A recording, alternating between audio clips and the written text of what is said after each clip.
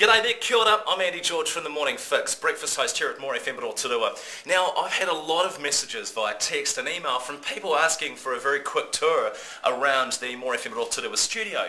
They want to see how the buttons work, um, how the texts come in, how the phone systems work, and how the show's put together. So I thought, okay, I'll put together a quick two-minute video and show you. Now, bear in mind, at the end of the video, just put a comment down on which part of the tour was your favourite and you're in to win some pretty sweet prizes. So let's go and visit Studio A, we call it. A for awesome.